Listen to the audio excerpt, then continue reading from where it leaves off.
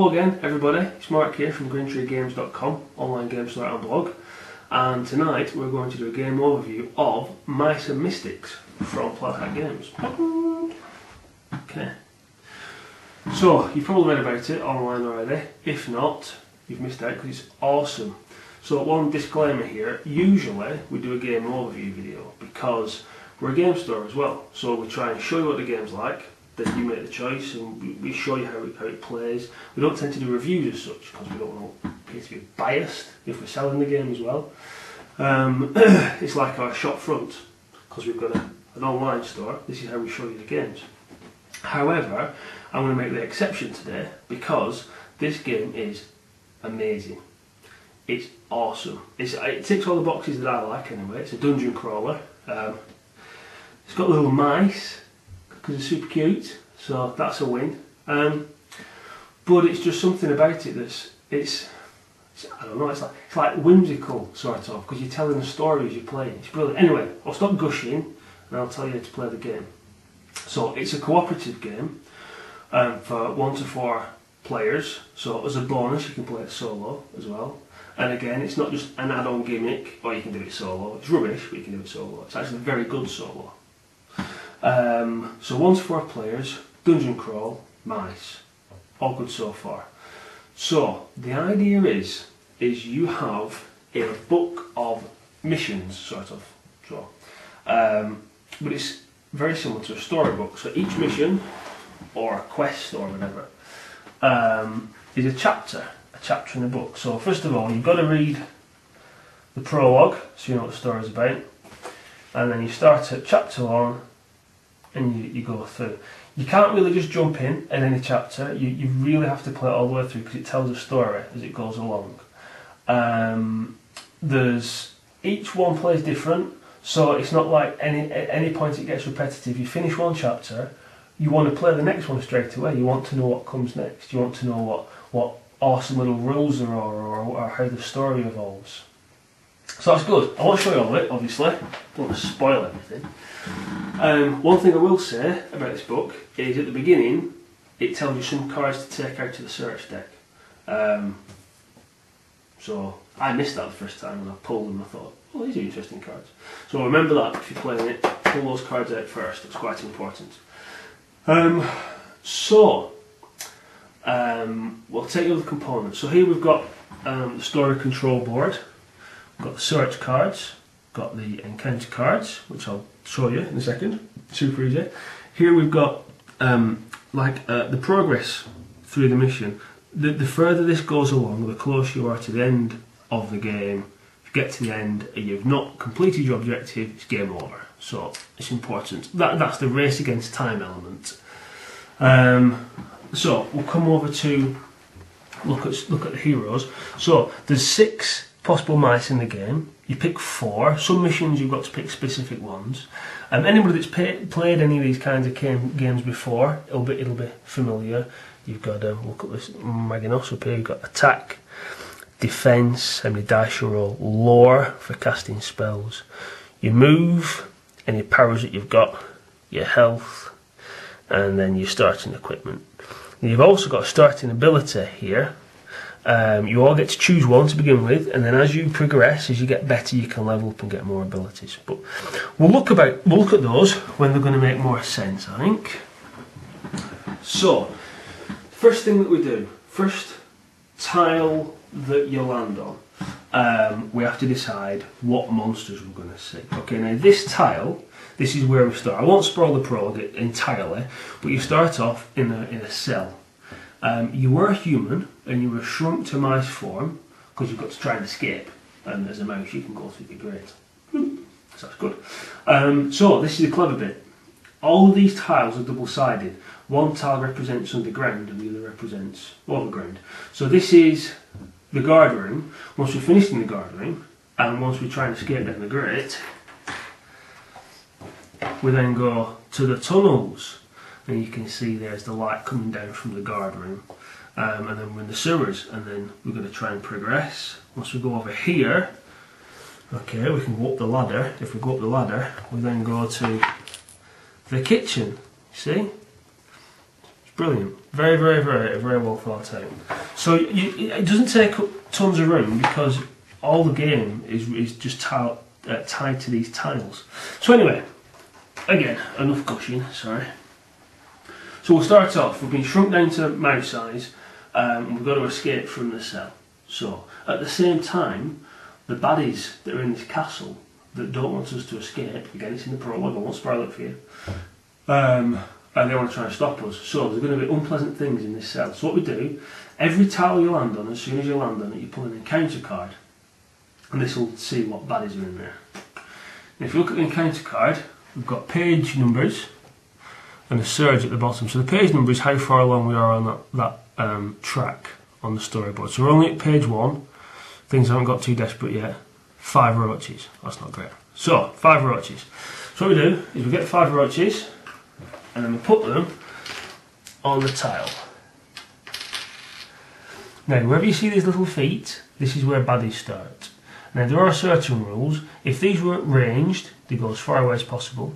If they, they were the big guys, we put them as close as possible. Any medium people, you just scatter them about. You've got to sort of dish them out evenly. Or, well, more or less, it's, it's up to you. So we've go, baddies placed. Right. Then what we do is we've got to decide who does what or when. So we have initiative cards.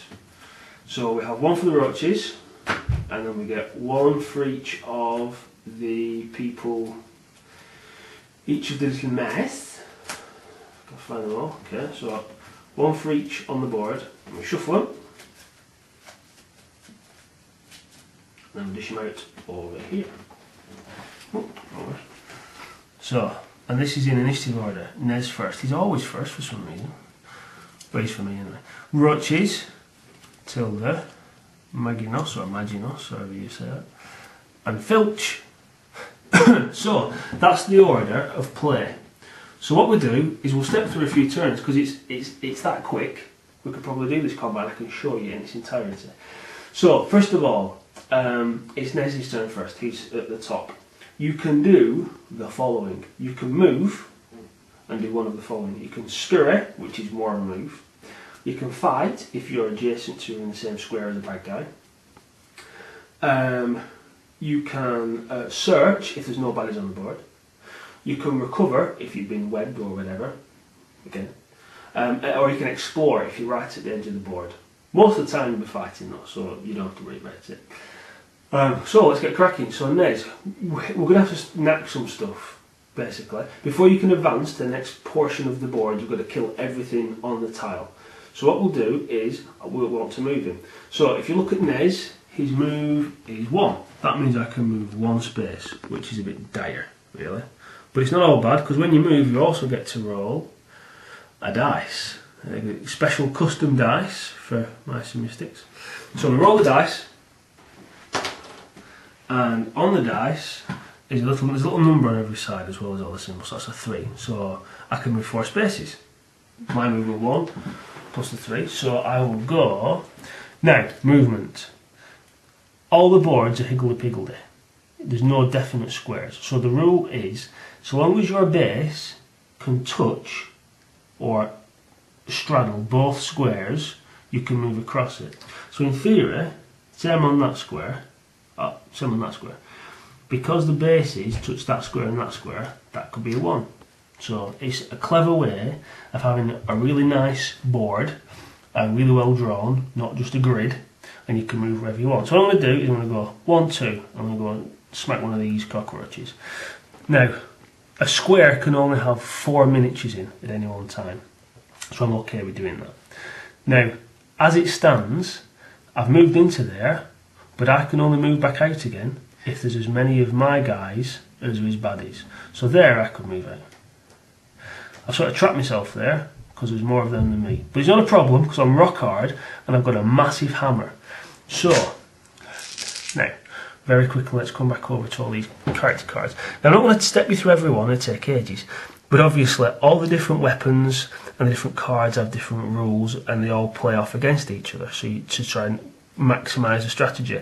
So my guy, um, if I'm in the same space as the enemy, um, two seconds, I can't read upside down. yes, I can add.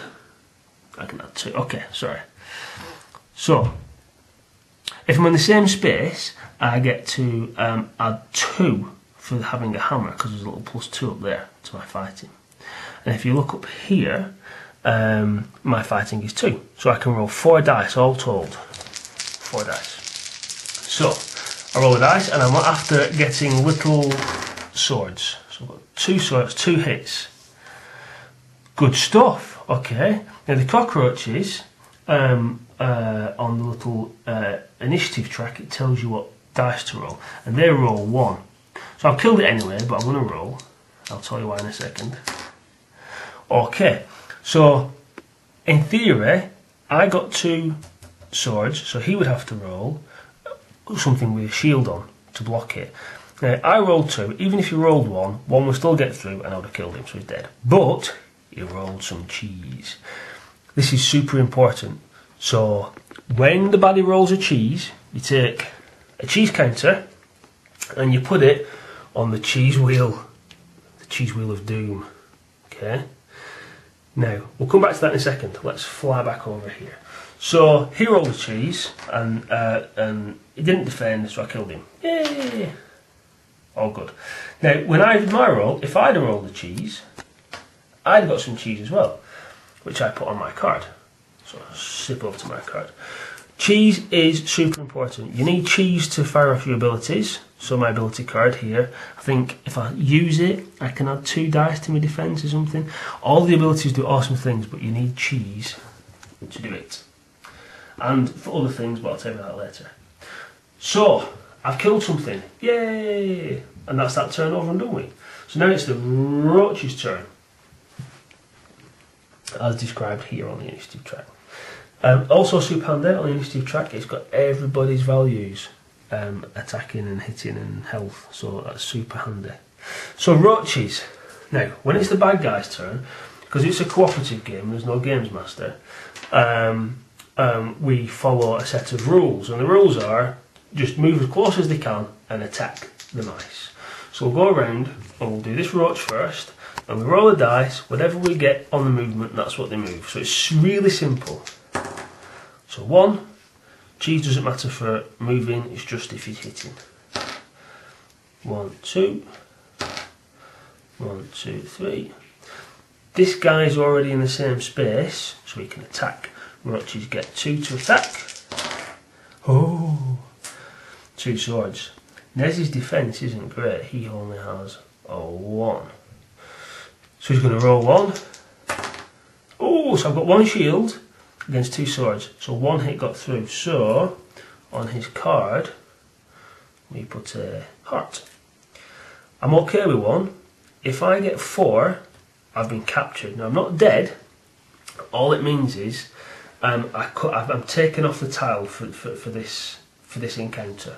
Um, so just just to show you in theory what happens. Say, say, say that's the last one. Say I'm all dead. All everything's gone. Any equipment I have um, equipped, that'll go. I lose all my cheese and I get taken off the board and I get put here. Um, the other thing that happens if you were to die, and I'm rushing through things a little bit, but the other thing that would happen if you were to die is come over here. This would advance forward one, so that would be bad. So you don't want to die because not only do you get captured and you're out until the next tile, but this advances, and the further this advances, the further you get to the end where you lose the game. Also, the higher this goes up, if you look on the encounter card, the bigger and harder baddies you're going to encounter. So, moral of the story is don't die, pretty much. So, anyway, I'm not dead. It's good news. I'm back there. Um, so, next it would be Tilda. So, let's, let's, let's, do, a, let's do a full turn. So, where's Tilda? Tilda has a movement of two. Um, so let's move her up here and we'll get this guy. So I'll roll anyway. So I've got loads, one, two. So I'll attack. Tilda has a mace, which um, doesn't add anything. So we just do the normal value there. What's that's two. She does have a special ability on her mace, her starting mace. Um, when she attacks, she can add one to this mace's battle for each wounded mouse on the same space. Now you see, if I'd have been really clever, I'd have probably moved her over here because he's wounded. But obviously I'm not, so we'll just we'll just do it as is. So Tilda gets some cheese. And she's done, she's hit with one. So the roach defends, no shield, roach dead. See, super quick. Um, Maginos, or Maginos, the wizard, he can do three, and his movement is two, so he can do five. So he's going to go. Well, he's going to stay where he is, and he's going to show you how to do ranged combat, because his staff can can fire at a distance. Now you can. There's no range limit. You can shoot anything you can see. The only thing problem is if is anything blocking the way that you can't see. But everything's open here. Nothing's blocking line of sight. He can roll two dice, and when you're doing range combat, you need those. Oh, he's failed, but he got some cheese. Put the cheese on. Super important cheese. So he failed. Um, now he can still move, so let's move him up to Tilda. And then Filch. Filch has lots of um, cunning abilities. Um, one of them is he can put an extra weapon in his tail and attack with that as well, but none of that applies to this. So we'll just move him up. So he'll roll, plus three is movement, which is five. So I've got one, two, three. Now you can attack just being adjacent, you don't have to be in the same space. But if you're in the same space, it can lock people down. If you fill a square up, then nobody else can come into it. So there are reasons for moving into the same space. So he's going to roll two. Uh, he got one. So the roach got it, gets a shield, so the roach is still alive. And that's the end of the first turn. So that's a turn. Pretty quick, eh? And, you know, initially that would probably... Um, it doesn't take too long to to, to move through. And because it's quick, everybody's having the turn and nobody's bored and everybody's looking at the board at the same time getting involved. So let's skip ahead. Let's say we've killed all the roaches. Um, and they're all dead. So when you kill the last roach is quite important because um, at the end of your round, if all of the monsters are dead, and you're loitering on this square, there's a mechanic that sort of pushes you along. So say, say, uh, say Tilda, who's there, killed the last roach. So then Maginos, whose turn it is next, there's no monsters on the board, so he can search if he wants to. That's one of the things you can do with no monsters on. So to search, super simple. You roll a dice. If you get a little star on it, show you. If you get a little star on it, it means you've succeeded. Those stars are used for most things where success isn't guaranteed. So I rolled a star and I, it succeeded. So this is the search deck, which is massive by the way, loads of cards. So what did he get?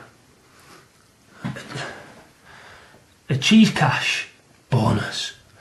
Um, play immediately. Each mouse on the same tile as the mouse that drew this card receives one cheese.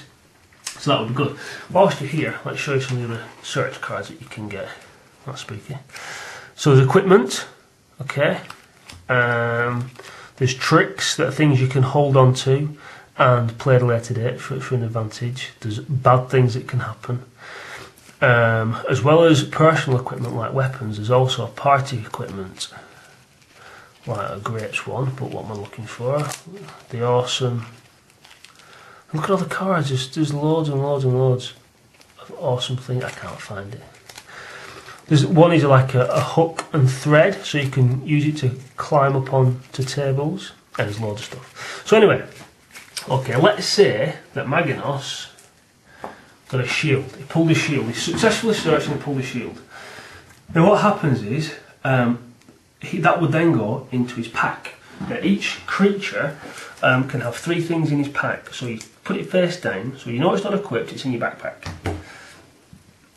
Now one thing we didn't cover is, as well as all the other things you can do, there's some free actions you can take. You can only do it once per turn, but it's things you can do as well as move um, and everything else. So on, on um, actually that's the wrong person. On Maginos' turn, Um, he, he searched and got that. Now, as a free action, if he's in the same space or an adjacent space, he can share this card with somebody else because it's of no use to him. You can also share cheese if you like. So he's going to give that, let's see, it's warrior or healer. So he's going to give that to Tilda because she's in the same space. That's his turn. Now on her turn, as her free action, she can equip that and she can start to use it. And if you look on the card, there's little areas to show you what hand to use. So that goes in that hand, that goes in that hand, that's fine. So she couldn't use something two-handed and a shield, that makes sense. Okay. Um, so, something you can also do as a free action is if your little character, your little mouse has got six cheeses all saved up, you can swap those six cheeses for an ability card, an extra one. You can rummage through and find one, so that's like levelling up essentially. So cheese is super important. So yeah, so free actions, you can um, swap cheese and equipment with people, um, you can equip things and you can also level up. Okay. So anyway, I digressed again. Um, so, um, Maginos searched, he got some equipment, it's now Filch's turn. So Filch can either um, explore because everybody's dead and is at the exit, the great. He can either explore or he can search. The problem is, if he searches, he's going to go past the end and back to the top. And whenever that happens and there's no minions on the board, another piece of cheese goes on the wheel. That's bad. So that's something you've got to weigh up whether or not you want that one that's happened. Now that's bad because when this fills up to six cheeses, cheeses, cheese, when this fills up to six cheese, either by the baddies rolling cheese when they attack or by waiting too long once all the minions are dead, once that gets to there, bad things happen.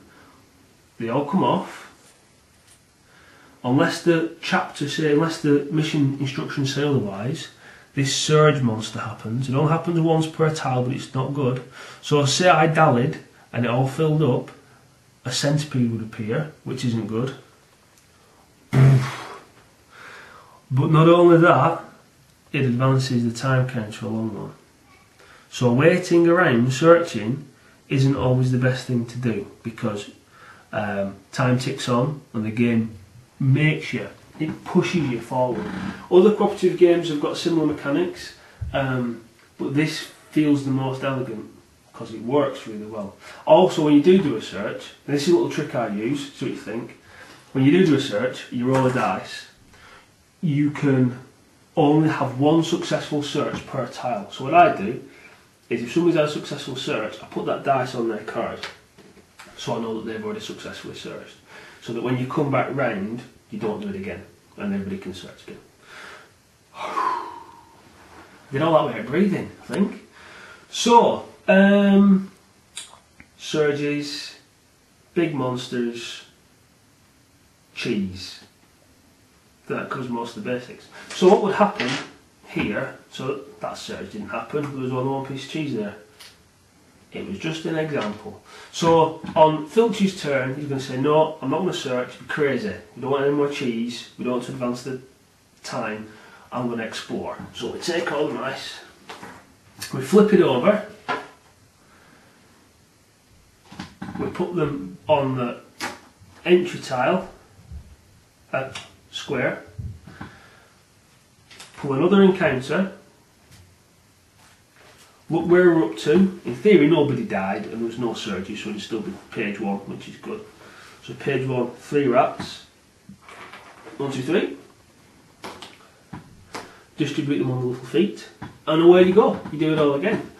Um, obviously there's more tricky rules in there, not tricky but there's there's lots of depth to the game. For example this is water, um, you've got to try and roll to get in and out of water. If you end your turn in water, you get pushed down by the current, and if you get pushed off the board, you get captured. Um, so all the tiles have got things going on, things happening. Um, some of the encounters say mouse traps. If it says mouse traps, if you're in a tile, we say you're in this tile with crosses on, you put mouse traps down. You've got to try and dodge them to get past them. You've got to roll a dice and see if you see if you make, work, your way past them. Um, the search deck is crammed full of all kind of different pieces of equipment that interact with each other and let you do crazy things. So I can't obviously I can't just sit here and give you all those details. That's part of the fun, cracking it open and having looking at all the cards and see what all the guys do. So, as a game overview, that's it. Those are the rules. That's how you play the game. Um, as a game review, it's awesome. I hope I get that across to you. Um, the theming um, and just how quick it is, it all gels really, really well. Um, apparently, there's going to be future expansion packs with more, um, more storybooks, more little mice heroes. Um, so there's lots more to come as well.